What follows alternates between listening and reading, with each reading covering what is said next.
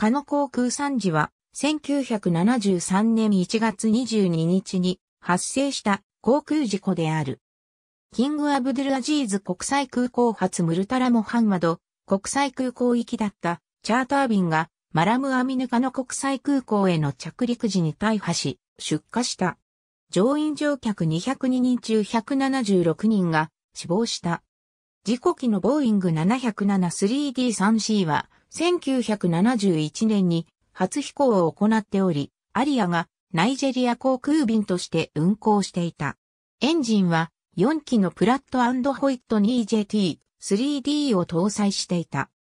ジェッタ化のラゴス出発地のジェッタと目的地のラゴス、事故現場のカノヌ場所を表した地図この便はナイジェリア航空がチャーターした便で、搭乗者の多くはサウジアラビアのジェッタからナイジェリアのラゴスへ向かう巡礼者であった。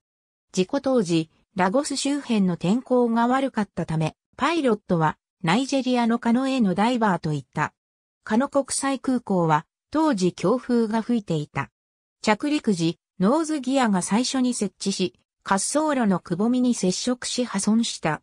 その後にメインギアも破損し機体は滑走路を逸脱、180度回転し停止した。事故の衝撃により火災が発生し、乗員乗客202人中176人が死亡した。この事故は14ヶ月後にトルコ航空981便墜落事故が発生するまでは史上最悪の航空事故となっていた。ありがとうございます。